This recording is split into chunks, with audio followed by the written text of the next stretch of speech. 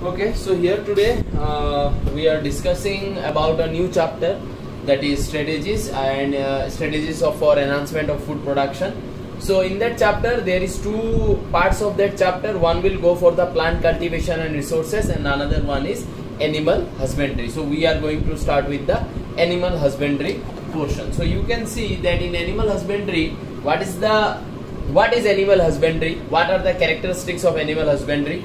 Why we need to study about animal husbandry? These things are discussed over here okay? Gradually we will move and we will discuss in today's lecture about dairy farm management poultry farm management and little bit management of sheep and goats okay? So this is what we will discuss in today's lecture. So you can see in animal husbandry what is animal husbandry if it is asked? Because this kind of one mark question comes a lot in cbse and uh, boards examination like what is animal husbandry what is livestock management ठीक है, इस तरीके का कुछ कुछ terms से definition पूछा जाता है। So animal husbandry is the agricultural practice for breeding and raising life stock okay so what is life stock if it is as domesticated animals which are raise for our use and profit are collectively called life stock okay so the animals which we can uh, domesticate which we can uh, keep them under our control okay which are mild which are easy to nurture.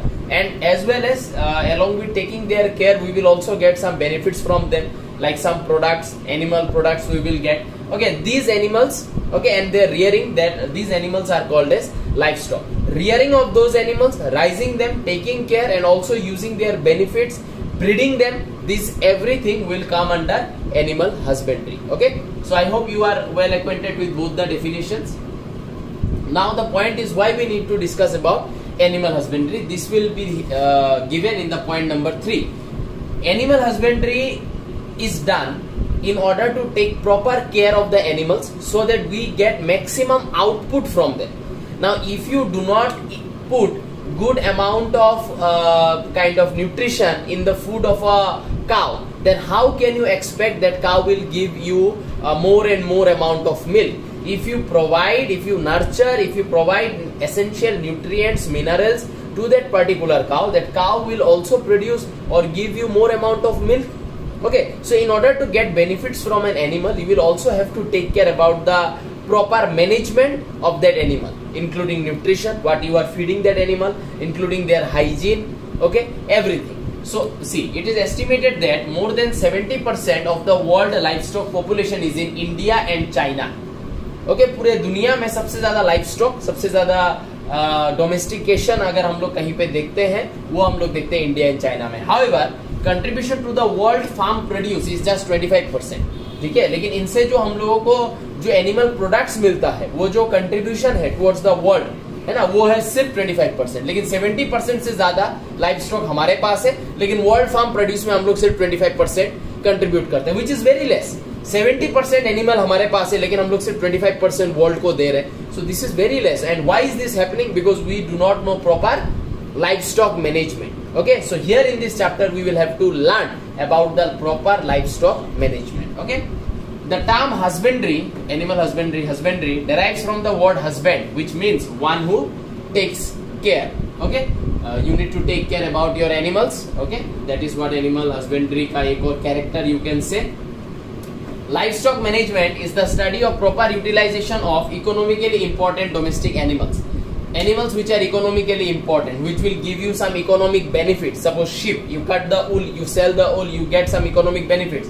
Cow you uh, take out the milk of the cow you uh, you sell that milk you make milk products you get economically benefited. So livestock management is the study of proper utilization of economically important domestic animals. Okay? So i hope these general characters are uh, these are very easy. Uh, you will relate only. You just need to remember the definitions and some character that have been discussed over here.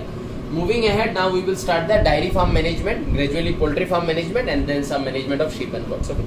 Make notes so here now we have started as i told you we need to study about three management first management that we are starting today is dairy farm management okay so dairying is the management of animals for milk and its products okay so what are the milk and milk based product उसका एक attachment मैं तुम लोग को Google Classroom में दे दूँगा ठीक है ना वो एक एक्स्ट्रा पोर्शन जैसा होगा वहाँ से तुम लोग देख के अगर जानना चाहते हो कि क्या क्या मिल्क प्रोडक्ट्स है, ठीक है ना? तो जान सकते हो वहाँ से, मैं एक अटैचमेंट दे दूँगा। So dairying is the management for animals for milk ठीक है? यहाँ पे हम लोग इन एनिमल्स का रियरिंग कर रहे हैं मिल्क के लिए and its products for human consumption तो यहाँ पे डायरी फार्म मैनेजमेंट के अंदर सिर्फ़ काउ नहीं आएगा। काउ बफेलो शीप गोट ये चारों आएगा। क्योंकि ये चारों से हम लोग मिल्क ऑप्टेन कर सकते हैं और वो हम लोग ह्यूमन कंजम्पशन के लिए यूज़ कर सकते हैं या उनसे हम लोग प्रोडक्ट्स निकाल सकते हैं, ठीक है ना? फॉर ह्यूमन कंजम्पशन तो यहाँ पे हम लोग एनिमल जो कंसीडर करेंगे under dairy farm management is not only cow but it is cow buffalo sheep and goat okay so तुम लोग dairying is the management of animals animals के बाद ब्रैकेट में ब्रैकेट लगा के वहाँ पे तुम लोग लिख सकते हो cow buffalo goat sheep bracket close for milk and its products for human consumption ठीक है? अच्छा। In dairy farm management, we deal with certain processes to increase the yield and overall quality of the product. माने, जैसे कि मैंने अभी बोला 70 percent of the life stock हमारे पास है, लेकिन हम लोग वर्ल्ड फार्म प्रोड्यूस में सिर्फ़ 25 परसेंट कंट्रीब्यूशन कर रहे हैं, ऐसा क्यों? क्योंकि हम लोग मैनेजमेंट प्रॉपरली नहीं कर पाते। हम लोग सोचते हैं कि सिर्फ़ अगर काउ को रख ले बफेलो को रख ले दैट इज़ एनफ उनको घास खिला दे, कुछ खिला दे दैट इज़ एनफ और उनसे हम लोग को प्रॉपर मिल्क मिल जाएगा। ठीक है ना? लेकिन उस एनिमल का हम लोगों का उस एनिमल में जितना नेसेसरी क्या बोले मतलब जितना नेसेसरी हम लोगों को उसका केयर लेना चाहिए, वो अगर हम लोग नहीं लेंगे तो उस एनिमल से हम लोगों को मैक्सिमम आउटपुट नहीं मिलेगा।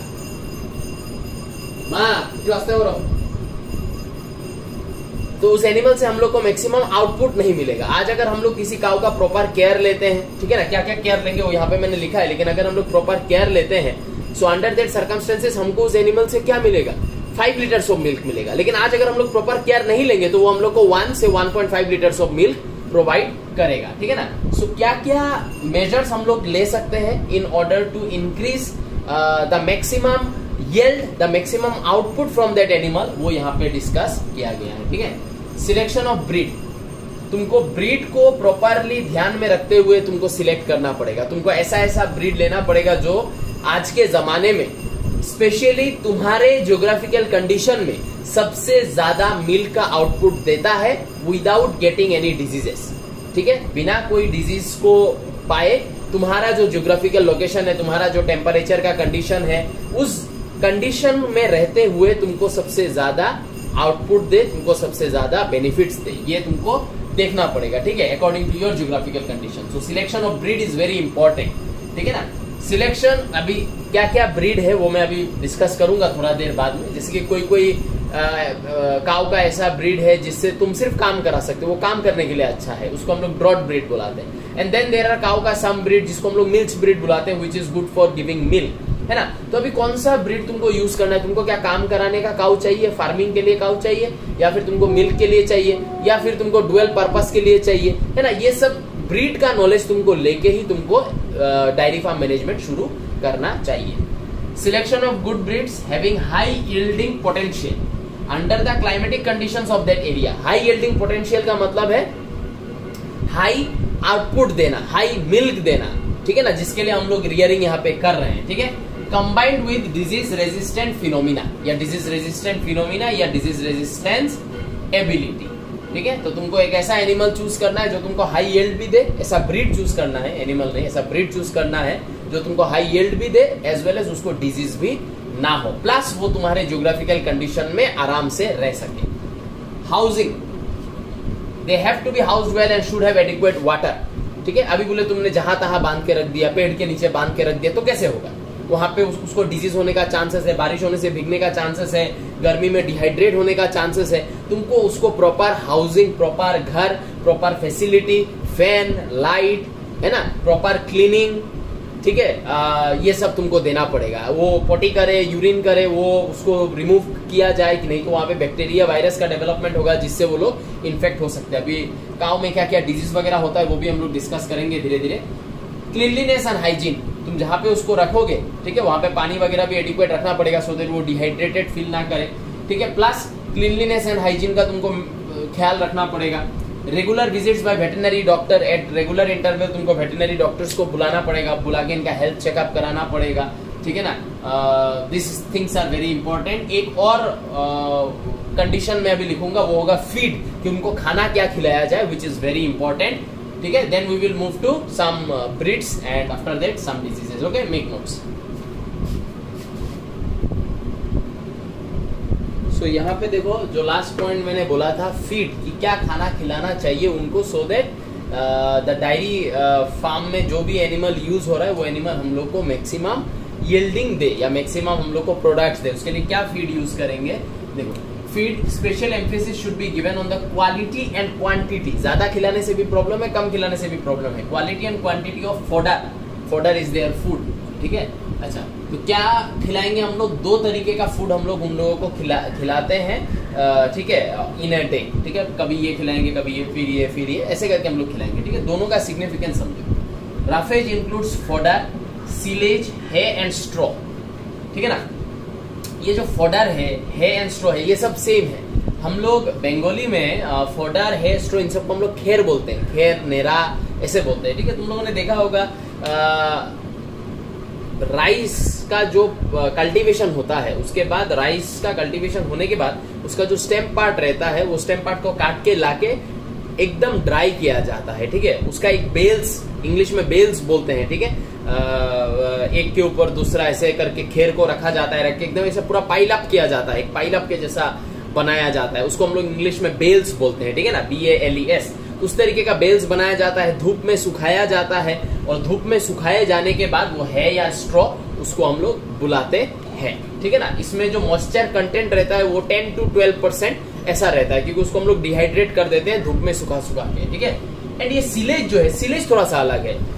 सिलेज में हम लोग क्या करेंगे, वो जो राइस का प्लांट काटने के बाद, वो जो स्टेम पोर्शन जो काट के हम लोग लाएँगे है एंड स्ट्रॉ बनाने के लिए, हम लोग है एंड स्ट्रॉ बनाने के लिए उसको हम लोग धूप में सुखाते हैं। सिलेज बनाने के लिए हम लोग उस उस है एंड स्ट्रॉ मतलब वो जो राइस प्लांट का जो नीचे का हिस्सा है, उसको लाके हम लोग एयर टाइट चेम्बर में with proper amount of water उसको रख देंगे। उसको हम लोग फर्मेंट होने देंगे। फर्मेंटेशन होगा उसका।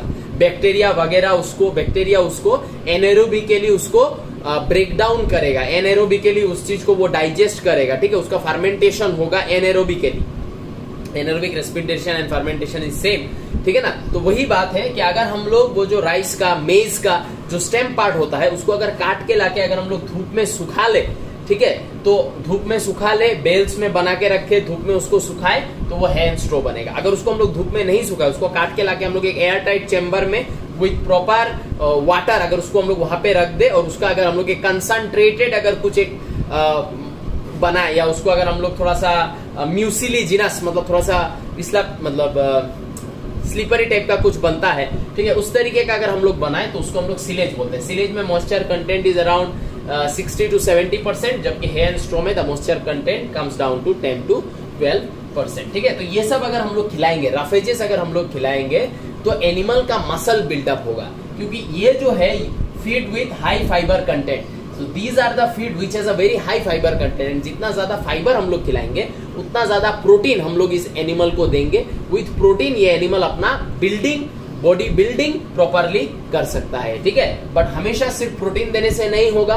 बॉडी को बहुत अलग अलग तरीके का एंजाइम हॉर्मोन्स बनाना होगा। उसके लिए बॉडी को मिनरल्स एंड विटामिन का भी ज़रूरत है। उसका लिए हम लोग ये खिलाते हैं। मिनरल्स एंड विटामिन के लिए हम लोग ये खिलाएँगे, ठीक है? लेकिन बॉडी बिल्डअप के लिए हम लोग राफेजेस का इस्तेमाल करते हैं, ठीक है? तो कंसंट्रेट्स में क्या बोला गया? सिरल्स मिलेट्स ठीक है? तो cereals millets I hope you know ये सब सीरियल्स uh, में तुम you can consider any cereal millets जो है वो देखने में छोटा छोटा डाल जैसा लगता है ठीक है ना? येलो डाल जैसा लगता है देखने में। फॉरेज क्रॉप्स फॉरेज क्रॉप्स माने क्रॉप्स uh, का कोई लीफ या स्टेम वाला पोर्शन जो जनरली एनिमल uh, खाता है या जनरली हम लोग एनिमल्स को खिलाते हैं forage crops are also a crop which is annual और बाइनियल जो साल में एक ही बार उठता है जैसे कि मेज है ना? मेज जो है वो साल में उसका कल्टीवेशन एक ही बार होगा पूरा साल में वो एक ही बार आ, वो प्लांट ग्रो करता है। तो ऐसा सीजनल सीजनल भी नहीं बोलेंगे। एनुअल जो क्रॉप होता है annual crop are also called as forage crops with high leaf protein because मैंने क्या बोला फॉरेज क्रॉप्स क्या है? ये जानने का दो डेफिनेशन है। एक ऐसा क्रॉप जिसका लीफ स्टेम ये सब एनिमल्स डायरी का एनिमल्स या फार्म का एनिमल्स खाता है, ठीक है? प्लस एक ऐसा क्रॉप जो एनुअल ग्रो होता है that is forest crops with high leaf protein ये सब खिलाया जाएगा। ऑयल केक ऑयल सीड ना ऑयल केक ऑयल सीड्स में हम लोग क्या करते हैं? काव को पता नहीं है, लेकिन हम लोग oil seeds and oil cake में हम लोग जो फ़िश का रेमनेंट्स रहता है, जैसे कि फ़िश का, जब हम लोग फ़िश काटते हैं या बड़ा बड़ा इंडस्ट्री में जब फ़िश कैन फ़िश जो हम लोग को मिलता है, उसमें क्या किया जाता है? उसका अंदर का जो इंटेस्टाइन वगैरह है, उसको निकाल लिया जाता है फ़िश का, या जो फिन वगैरह है, उसको निकाल लिया जाता है। उस इंटेस्टाइन फिन ये सबसे मिला के बनाया जाता है ऑयल के ऑयल सीड्स क्योंकि उसमें प्रोटीन का कंटेंट बहुत हाई रहता है।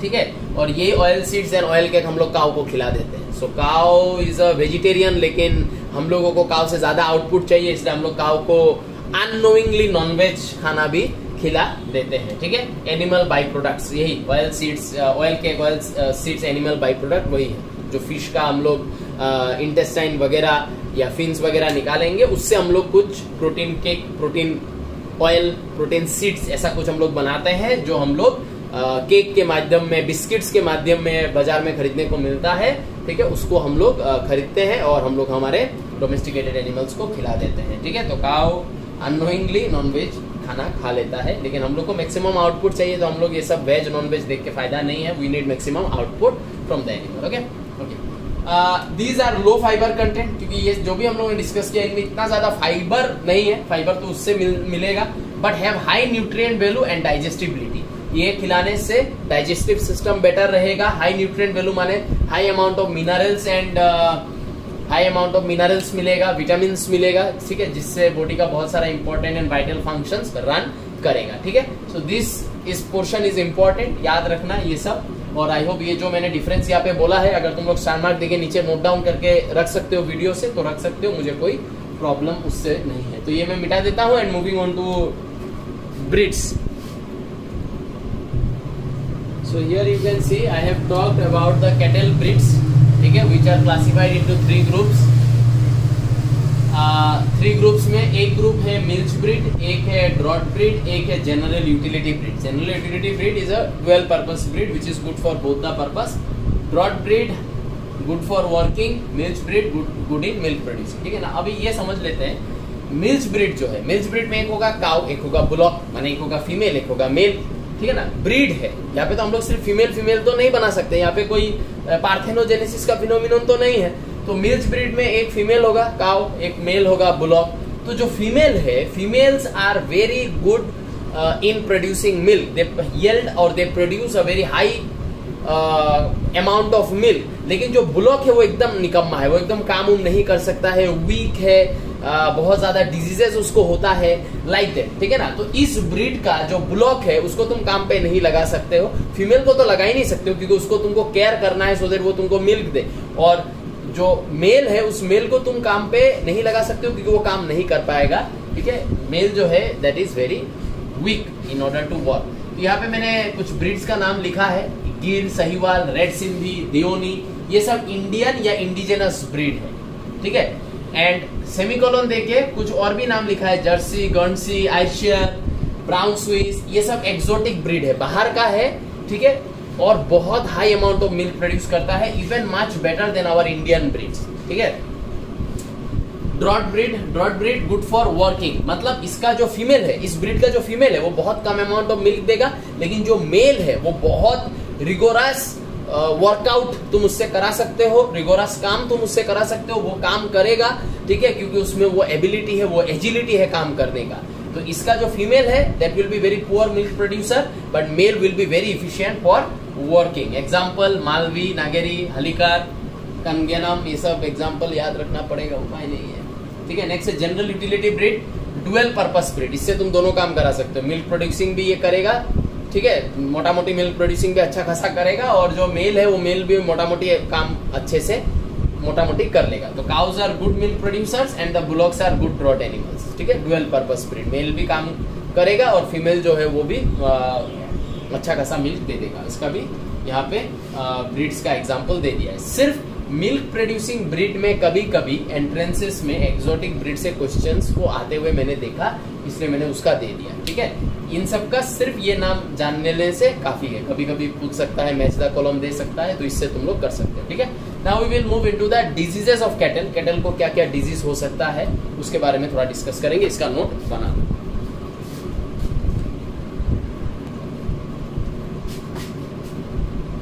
so, यहाँ अभी हम लोग डिजीजेस ऑफ़ कैटल के बारे में बात कर रहे हैं। तो डिजीजेस ऑफ़ कैटल में यू कैन सी हम लोग थ्री डिजीजेस के बारे में बात करेंगे, जिसमें से दो बैक्टीरियल डिज़ीज़ एक viral disease these are the mostly occurring diseases in cattle okay पहला है anthrax caused by bacterium Bacillus anthracis this disease is highly contagious ठीक है? इसमें ये मतलब एक को होने से दूसरे को होने का बहुत ज़्यादा चांस होता है। कॉजेज स्किन लेजन स्किन में घाव होगा सिम्टम्स क्या है? And it can also cause respiratory problem almost thirty five percent of the cattle का जो डेथ होता है वो एंथ्रेक्स के वजह से या इस बैक्टीरिया के इन्फेक्शन के वजह से होता है। नेक्स्ट है मेस्टिटिस ठीक है? Mastitis is caused by bacterium Corynebacterium pyogenes it causes the inflammation of udder udder मतलब काव में देखा होगा कि ह्यूमन का फीमेल्स का ब्रिज जैसे प्रोमिनेंट है। ठीक है ना?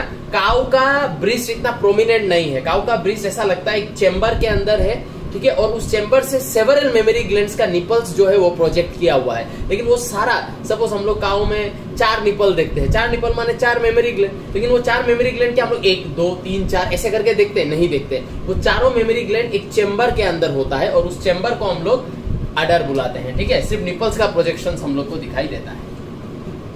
Portion which holds mammary glands ठीक है? That is what is udder it causes मतलब ये बैक्टीरिया क्या करेगा? Swelling and pain in the bridge accompanied by fever and chills ठीक है?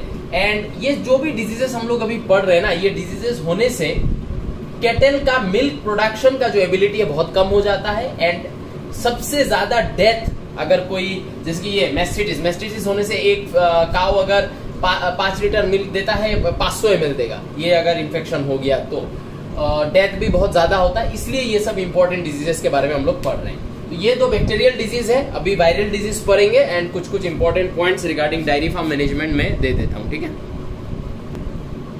सो यहाँ पे एक डिज़ीज़ जो लास्ट बचा था, उसके बारे में लिखा है एंड कुछ इंपॉर्टेंट पॉइंट्स के बारे में लिखा है। रेंडर पेस्ट और cattle plague this is the third disease and ये वायरल डिज़ीज़ है। हाईली कंटीजियस है बॉडी के हर सिक्रेशन में ये वाला वायरस जो ये डिज़ीज़ कॉज करता है, ये पाया जाता है। ठीक है? The symptoms include fever and other lesions oral lesions oral lesions माने तुम्हारा uh, क्या बोलते हैं? मुँह के अंदर घाव होगा फीवर डायरिया ठीक है? It has a very high mortality एक टाइम पे uh, पूरा वर्ल्ड में यूनाइटेड uh, नेशंस के डायरेक्शन में एक कैंपेन हुआ था जहाँ पे कैटल्स को वैक्सीन दिया गया इस पर्टिकुलर वायरस का। आज हमारे में कोविड 19 का जैसा हालत है एक टाइम पे इन द 1950 से लेके 2000 या 1980s 1990s का वो जो टाइम था वहाँ पे पूरा ये वायरस जो है हाईली कंटाजियस हो गया था ठीक है? और इस वायरस के वजह से बहुत सारा केटल का डेथ वगैरह भी आ, हुआ था ठीक है? ये वायरस का नाम है रिंडर पेस्ट मोरबिली वायरस ठीक है? This is the name of the virus rinderpest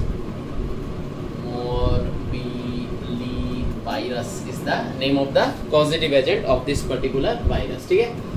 इसके बाद कुछ जनरल पॉइंट्स यहाँ पे डिस्कस कर रहे हैं, जो एंट्रेंसेस में कभी कभी कभी ना कभी आया है। Vechur cow is the smallest breed of cow in the world ठीक है? इसका हाइट शायद दो फीट का है। तो बहुत ही बांठा काव है, केरला में पाया जाता है। ओएमजी ये मेरा इंडिया उसमें इस काव के बारे में एक एक एपिसोड भी दिखाया था। बाहर बाहर से लोग आते हैं इस काव को देखने के लिए एंड ये बहुत ही छोटा एंड बहुत ही कम हाइट वाला काव है। टू फीट माने, समझ सकते हो ना, ये काव का लेंथ इतना है। ये इतना लेंथ का ये मेरा बोर्ड का जो लेंथ है, इतना लेंथ का ये काव होगा, ठीक है?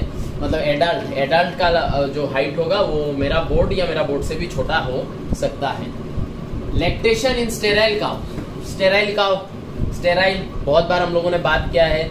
स्टेराइल वो लोग होते हैं जिन लोगों का ओवेरी जो है वो नेसेसरी हॉर्मोन्स एंड गेमेट्स का फॉर्मेशन नहीं करता है. They are considered sterile mostly ठीक है ना? तो काव में भी तो प्रॉब्लम्स हो सकता है, उन लोगों का भी रिप्रोडक्टिव सिस्टम है, उन लोगों का भी रिप्रोडक्टिव सिस्टम में इश्यूज़ हो सकता है. तो उन काउ से भी हम लोग मिल्क निकाल सकते हैं अगर हम लोगों ने उनके बॉडी में स्टील बेस्ट्रॉल बोल के केमिकल अगर हम लोगों ने इंजेक्ट किया. ये क्वेश्चन एक बार नीट में आ चुका है, ठीक है? स्टील बेस्ट्रॉल बोल के केमिकल अगर हम लोगों ने इनके बॉडी में इंजेक्ट किया तो ये stilboestrol can trigger the production of prolactin and oxytocin ठीक है? तो ये स्टील बेस्ट्रॉल एक ऐसा केमिकल है जो ऑक्सीटोसिन एंड प्रोलेक्टिन का प्रोडक्शन कर सकता है। नहीं तो जनरली फीमेल के बॉडी में एस्ट्रोजन एंड प्रोजेस्टेरोन जब पीक लेवल पे पहुँचता है, उसके बाद ही generally peak type peak level पे पहुँचता है और बहुत लंबा टाइम तक पीक लेवल पे रहता है। ठीक है? उसके बाद ही प्रोलेक्टिन का रिलीज़ होता है दैट इज़ आफ्टर प्रेगनेंसी क्योंकि during the entire time of pregnancy body में एस्ट्रोजन एंड प्रोजेस्टेरोन का लेवल हाई होता है, ठीक है ना? तो उसके बाद ही वी विल सी कि प्रोलेक्टिन का रिलीज़ होता है एंड प्रोलेक्टिन मिल्क का प्रोडक्शन करता है आफ्टर प्रेगनेंसी तो ये स्टील बेस्ट्रॉल ठीक है? स्टेराइल का, जिन, जो लोग कभी बर्थ नहीं दे सकता, जिन्होंने कभी बर्थ दिया नहीं है, उनमें ये केमिकल जाके प्रोलेक्टिन एंड ऑक्सीटोसिन का रिलीज़ करवाएगा, जो मिल्क प्रोडक्शन मिल्क सिक्रेशन करवाएगा ठीक है ना? तो ये पॉइंट याद रखना। ये पॉइंट एक इंपॉर्टेंट पॉइंट है कि compare to cows buffaloes scientific name generally yield more milk of high fat content तो बफेलो का मिल्क में जो फैट कंटेंट है प्रोटीन है वो काव के मिल्क से बहुत ज़्यादा पाया जाता है। बहुत थिकर मिल्क होता है अगर तुम लोगों ने खाया है तो। It's very tasty also Jaipur गया था मैं घूमने के लिए कुछ दिन पहले। वहाँ पे हम लोगों ने लस्सी पिया। आ, या मिल्क मेड प्रोडक्ट जो भी पिया, खाया इट वॉज़ एक्सट्रीमली टेस्टी मतलब बहुत बहुत ज़्यादा टेस्टी था। मतलब हम लोग का इस तरफ़ में इतना टेस्टी मिल्क प्रोडक्ट्स या हम लोग को नहीं खाने को मिलता है। तो आई आक्स देन कि ये इतना आप लोग टेस्टी है, कैसे बनाते क्या they said that they made it from the buffalo milk and due to that the taste is different so if you ever taste buffalo milk you will also understand that buffalo milk का taste जो है वो काफ़ी different होता है and milk जो है काफ़ी गाढ़ा होता है थिकर होता है. Buffaloes also have greater disease resistance जो एक डायरी फार्म मैनेजमेंट के लिए बहुत अच्छा चीज़ है. लॉन्जिटिविटी एज काफ़ी लंबा है रिप्रोडक्टिव uh, एज काफ़ी लंबा है प्लस उनका नॉर्मल एज भी काफ़ी लंबा है तो ज़्यादा टाइम तक मिल्क देगा बच्चा प्रोड्यूस करेगा. Milk yielding capacity of buffaloes are three times to that of a cow अगर काउ दिन में एक बार मिल्क देता है बफेलो उसके कंपैरिजन में तीन बार मिल्क दे सकता है। यहाँ पे और भी कुछ एक्स्ट्रा पॉइंट्स लिख दिया है एंड यहाँ पे हम लोग आज डायरी फार्म मैनेजमेंट का डिस्कशन खत्म करेंगे। नेक्स्ट डिस्कशन uh, हम लोग नेक्स्ट वीडियो uh, में हम लोग पोल्ट्री फार्म से स्टार्ट करेंगे and we will also discuss about maybe we can discuss fishery और समथिंग लाइक दैट जो भी छोटा है फिशरी छोटा है फिशरी का डिस्कशन हम लोग उसके साथ कर सकते हैं ठीक है ना? अच्छा। Cow milk has four percent fat where as buffalo milk has eight percent fat ठीक है? तो as I told you buffalo का मिल्क में फैट कंटेंट ज़्यादा होता है milk is thicker breeds of buffaloes याद रखने का कोशिश। Goat is called as poor man's cow because it yields only a small quantity of milk ठीक है? ये सब एक्स्ट्रा पॉइंट है एंट्रेंस रिलेटेड एंट्रेंस में आता है। Central goat research institute is located in Mathura UP AIIMS में एक बार ये क्वेश्चन आया था। Goat and sheep are reared for wool skin meat and hair क्योंकि मैंने क्या बोला था डायरी फार्म मैनेजमेंट के अंदर में गोट शिप ये सब भी आएगा, क्योंकि इनसे भी हम लोग मिल्क ये सब निकाल सकते हैं, ठीक है ना? लेकिन इंडिया में जनरली गोट एंड शिप का मिल्क निकाल के तुम बिज़नेस नहीं कर सकते हो, क्योंकि goat and sheep they give you a very small amount of milk hence they are called as poor man's cow ठीक है ना? तो बिज़नेस तो नहीं कर सकते हो तो फिर भी अगर इनको तुम रेयर करोगे, पालोगे तो क्या कर सकते हो इनसे? Wool skin skin leather wool hair hair से बहुत सारा इंपॉर्टेंट क्लोथ्स वगैरह बनता है हाई इंसुलेशन होता है, ठीक है ना? मीट खाते हैं मैं, कश्मीर गया था तो कश्मीर में you will not get if you say I need mutton mutton means वहाँ का गोट या वहाँ का शीप का मीट जिसका टेस्ट स्मेल सेंट एकदम अलग ही है। ठीक है? उसका एक टेस्ट ही अलग है स्मेल अलग है। हमारा यहाँ का गोट ये सब के जैसा नहीं है। ठीक है ना? यहाँ पे पश्मीना, देखो रियर किया जाता है वुल स्किन मीट हेयर सब के लिए तो यहाँ पे थोड़ा एग्ज़ाम्पल दे दिया। पश्मीना बहुत फ़ेमस है वर्ल्ड फ़ेमस है। Under fur of Kashmiri goats Kashmiri goat का अंडर फार मैंने उसका जो पेट का साइड होगा वेंट्रल साइड होगा वेंट्रल साइड से निकलता है। Is a fine soft wool used for Kashmiri shawl pashmina wool का insulation warmth heat producing capability बहुत भयंकर, बहुत ज़्यादा है। प्योर कश्मीरी शॉल का जो प्राइस है, वो I think thirty forty thousand तक भी चला जाता है, जो प्योर है। मिक्स है, वो कम में भी मिलेगा। ब्लैंकेट्स फिफ्टी थाउज़ेंड से starting pure Kashmir pashmina blankets ठीक है?